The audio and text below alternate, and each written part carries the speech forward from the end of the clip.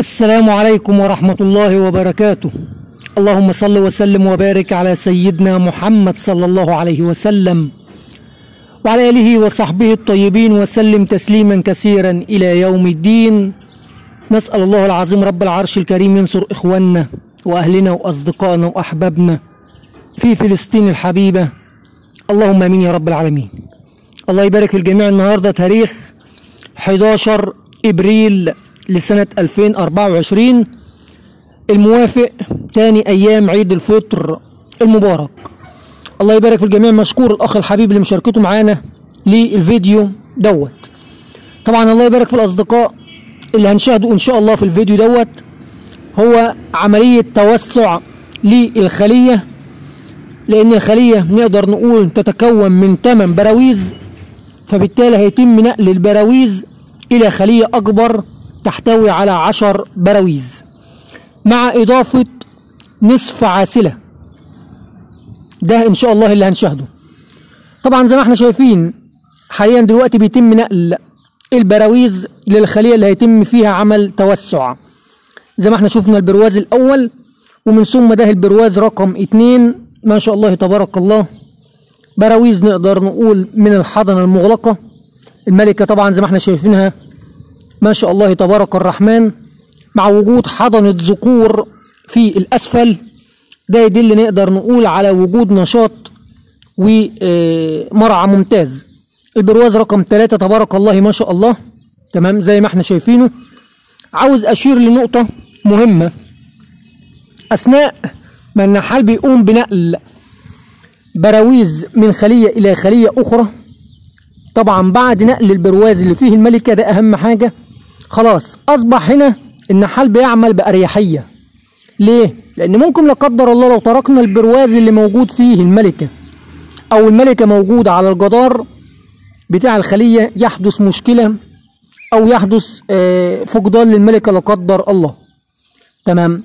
طيب الله يبارك في الأصدقاء كده زي ما إحنا قلنا نقلنا ثلاث براويز. ده البرواز رقم أربعة.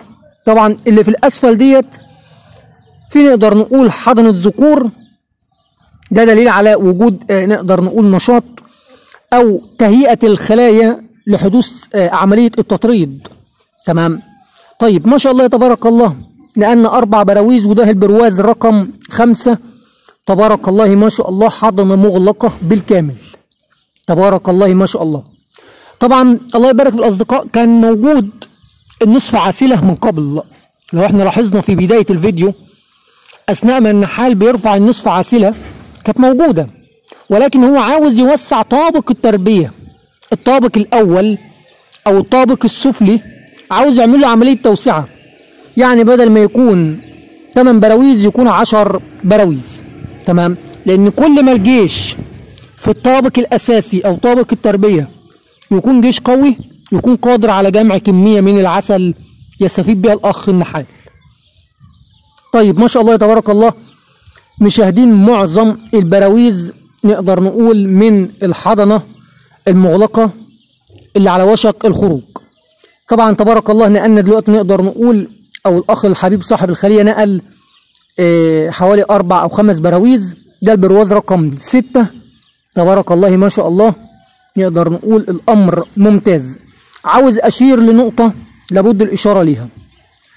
بعد ما يتم نقل البراويز بالكامل إلى طابق التربية اللي هو حاليا دلوقتي بيقوم أخونا الحبيب صاحب الخلية بنقل البراويز بعد ما يتم نقل البراويز دي بالكامل قبل ما يتم وضع النصف عاسلة لابد إن يتم وضع الحاجز الملكي ليه؟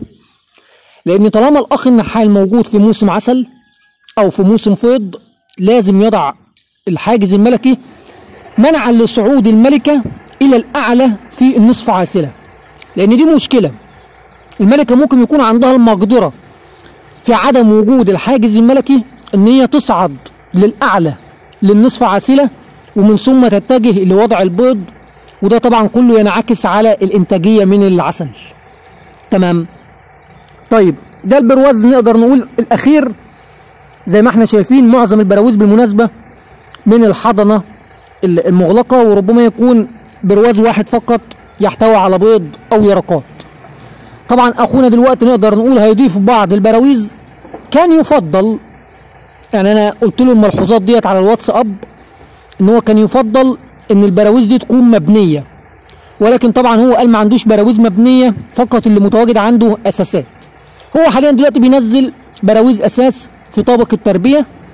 طبعا كان يفضل وقلنا الملحوظات ديت إن الب... ال... اللهم صل على سيدنا محمد. براويز الأساس دي ما يتمش وضع البروازين بجوار بعض. يحط واحد نقدر نقول رقم اتنين ما بين الحضنة المفتوحة والمغلقة أو الحضنة المغلقة والمغلقة والبرواز الآخر يتم وضعه نقدر نقول رقم ستة أو رقم تمانية. حبينا بس نشير للنقطة دي. طيب حاليا دلوقتي نقدر نقول تم وضع نصف عاسلة تتسع إلى آه عشر براويز وتم نقل البراويز فيها زي ما إحنا شايفين. ما شاء الله البراويز الصغيرة اللي هي خاصة بالنصف عاسلة ربما يكون تبارك الله آه النحل قام بعملية جمع الرحيق فيها. تم نقل ثلاث براويز ده البرواز رقم أربعة. تمام؟ أنا بس ملحوظتي الوحيدة واللي أأكد عليها لأكتر من مرة للي بيتابع معانا لابد يتم وضع الحاجز الملكي ما بين طابق التربية والنصف عاسلة منعا لصعود الملكة. ده أمر مهم جدا. تمام؟ طيب تم وضع زي ما إحنا شايفين بروازين أربعة ست براويز في العاسلة آه النصف عاسلة. ده البرواز رقم سبعة. في كذلك في النصف عاسلة برواز رقم سبعة. تمام؟ آه وده البرواز رقم 8 أصبح هيكون فيه متسع في العسيلة ما شاء الله. العسل تبارك الله النحل ابتدى يبيض الرحيق. يعني قوة رش ما شاء الله ممتازة. طيب دلوقتي نقدر نقول هيتم وضع برواز أساس لأن هو أتوقع ما عندوش براويز مبنية. تم وضع برواز أساس في النصف عاسلة كده النصف عاسلة دلوقتي تحتوي على آه، تسع براويز فقط. طيب هو ليه مش هيحط البرواز رقم 10 لأن هو هيحاول يعمل خلخلة في العسيلة ما بين البراويز. تمام؟ ده النحل اللي كان في الخلية القديمة بيتم نفضه لأن الملكة طبعا موجودة في الأسفل في الخلية وتم التأكد منها. تمام؟ نصيحتي للأخ صاحب الخلية وللأصدقاء اللي بتتابع معانا لابد يتم وضع الحاجز الملكي لأن ده أمر مهم جدا منعا لصعود الملكة للنصف عاسله وبالتالي الملكة لو صعدت هيكون نقدر نقول في سحب من النحل بالنسبة للعسل والملكة هتتجه في وضع البيض. وده مش من مصلحة النحال كإنتاجية عسل. تمام؟ الأمر بسيط جدا. لابد يتم تفقد الخلية دي بعد حوالي ثلاث أيام للتأكد من بناء الأساسات الشمعية اللي موجودة في طابق التربية.